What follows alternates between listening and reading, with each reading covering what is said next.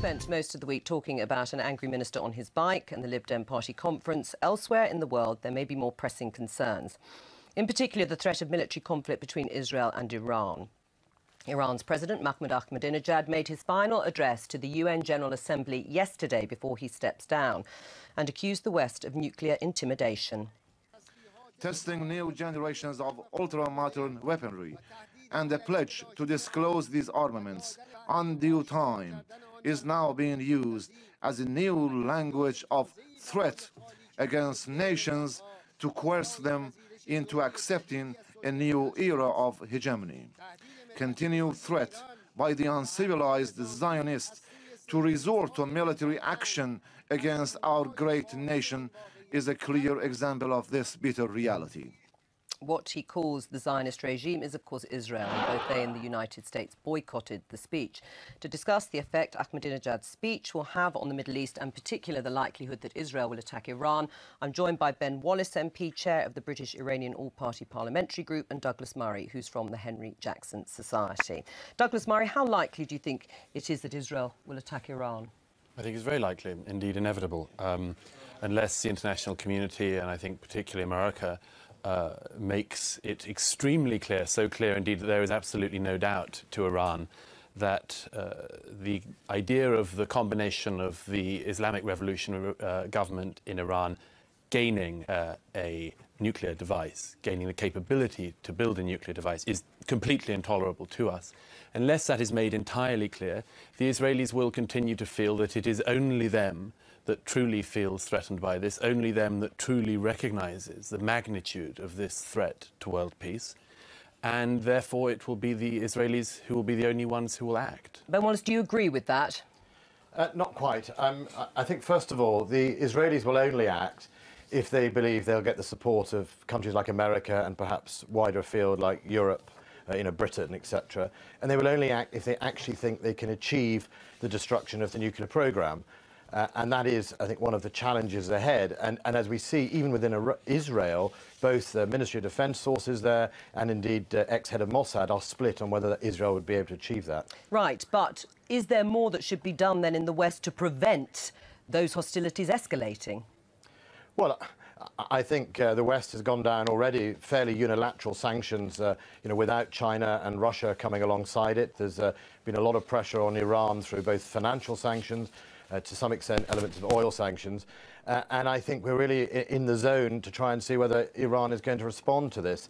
Uh, uh, you know, the, the, problem is this is not just about Israel. What, what people forget, and, it, and, it's almost, it's not quite a sideshow, but actually this is much more about Saudi and Iran and the rivalries between Sunni and Shiism in the region uh, and who is going to be the dominant partner uh, in that area. And I think that's what we, we often forget. And the worry for the West, the real worry for the West, is that Israel may be a false start. They may trigger something uh, that both America, Britain, and, and, many other people do not want to happen uh, and now, and even if it was unsuccessful, cause a real problem in that region. But are you saying then that actually the threats from Ahmadinejad over the years have been, if you like, just playing to the audience in terms of Israel, um, and that Israel takes it far too seriously? Or, or, or, what is it you're implying? Well, first of all, Israel and Iran, uh, as and actually in other parts of the Middle East, have a huge a history of rhetoric as opposed to the mm. reality that they do below the scene. Throughout the whole 80s, at the height of the supreme leader Ayatollah Khomeini, the last supreme leader's rhetoric against Zionist Israel, as he would call it, against the sort of, uh, you know, the state that shouldn't be. Uh, in Iran and Israel were allies. It was Israel that was arming Iran throughout the Iran-Iraq war, not the West. It was Israel that knew that on, on many occasions Iran was the counterbalance to Iraq okay. and Egyptian power. So we have to separate rhetoric from often the reality. Well, and, it, me, and doesn't let, Britain have to do that? In that, in that case, let, let me be as, as, clear as possible. This is not uh, about rhetoric uh, and not about rhetoric only. I think it would be a great mistake uh, to think that. Uh, the president uh, of Iran, the supreme leader, all of the senior figures in the Iranian regime have for 30 years expressed a desire to wipe out the state of Israel and to, uh, if I may just, if I yes. just finish, and to annihilate uh, the nation. Now, among other things at the moment, they are doing what they can with their current spread of uh, capabilities in the region. They arm Hezbollah, for instance. They fund Hezbollah hundreds of millions of dollars a year. Hezbollah then spends its time destabilizing the Lebanon, currently is massacring people in Syria who are trying to overthrow the Assad regime, and of course has been waging a war for three decades on Israel. That's what it's doing now. If you like what uh, Iran is doing without a nuclear bomb, you'll love what they do when they've got one. The idea this is solely about rhetoric is a terrible mistake, but the rhetoric does matter, and it is not nothing that a world leader like Ahmadinejad is able to continuously claim that the last Holocaust did not happen whilst calling for the next one to occur. Right, you're underestimating the threat here, Ben Wallace, uh, says Well- Douglas Murray. You're making a terrible mistake if you think it's just No, rhetoric. No, no I, I don't say it's just rhetoric, and I absolutely agree that Iran has used its uh, third parties and its terrorist links to uh, certainly wage war on Israel, and, and I, I don't underestimate, you know, the damage that does to Israelis and the Israeli position in the Middle East. But you know, let's remember, uh, and this is, you know, the- Meir Dagan, the ex-head of Mossad, so certainly not a, not an amateur in this game, said only in March this year he did not believe that the Iranian people were irrational, and nor were their leadership when it came to mutually assured destruction. So, sh- should Iran suddenly decide to have a nuclear weapon, uh, you know, it was very clear that uh, they didn't think the Iranians wanted to obliterate themselves because that would be let's, happen. let's, let's, let's take this straight on. First of all, Israel is a, is a democracy. It has a plurality of opinion. It has very many voices. Uh, sit in a room with six Israelis well, and you'll get seven Mossad opinions. is quite a significant individual. Abs- I mean, not- Absolutely, and so is the Prime Minister o- of Israel, a, a very significant individual and with experience in these matters. There are many Israelis, not just Prime Minister Netanyahu, but many others who realise this threat and recognise it and recognise it should be taken seriously. But one other point is very important to mention on this.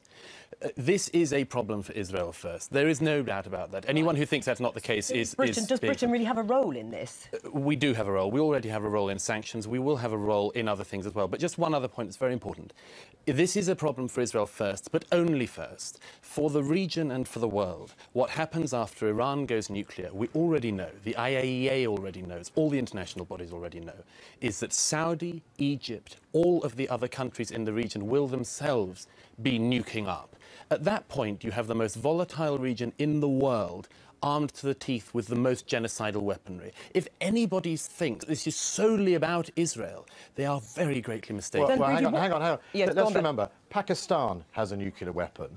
Are you glad that that's the Is- situation, hang or would you well, rather on, stop there? Am I glad Israel has a nuclear weapon? No, I'm not either. Oh, really? Let's let's well, no, I'm not. Let's remember the Middle East nuclear arms race, if that's what you want to describe it, started with Israel, and Israel Okay. does not comply with the UN IEA directives Let me- aimed at it. So we have to recognise that the real issue here, and let's remember. I know what's in Israel's national interest, and I fully defend their right to defend themselves. But that is not Britain's national interest. Let's, let's No. remember Right. this. Now, that is You know, the who- question. who is- Just brief- who is blowing up Yes. twin towers? Who is who is you know who is plotting to kill and murder in this country? It is not Shia Iranian-sponsored okay. terrorism. It's Wahhabi Sunni And- and who extremism. it? Let Doug- who let is Doug- not Iranian-sponsored. Okay, let's it's talk about because that is the key. What is in Britain's interest here in terms of what foreign policy we undertake? Well, first of all, I'm sorry that the Conservative MP in question doesn't mind the attack, assault uh, on our embassy in Tehran, which was done with the backing and encouragement of the Iranian government. I'm, I'm, I'm sorry that the ransacking of embassies isn't but let's get to the point of Britain's interest. Britain, but Britain's interest in, in, in, in how they handle Our this. interest, our interest is extremely clear. First of all, Israel is an ally of ours and the only thriving democracy in the region and a security interest. Secondly, it is in our national interest that the Middle East does not go nuclear across the board because if it does, we will see a Mexican gunfight at the end of which nobody will know who started it. I'm going to have to finish it there. Well, but, gentlemen, I'm I so don't sorry, want Ben. them to go nuclear either. Ben- Let's remember, we want to take nuclear weapons out of the Middle East. Okay. That includes Israel and Pakistan. Ben them all out and you lose Israel. It's Gentlemen. as simple as that. I have to stop you both there, but thank you both very much for a very interesting discussion.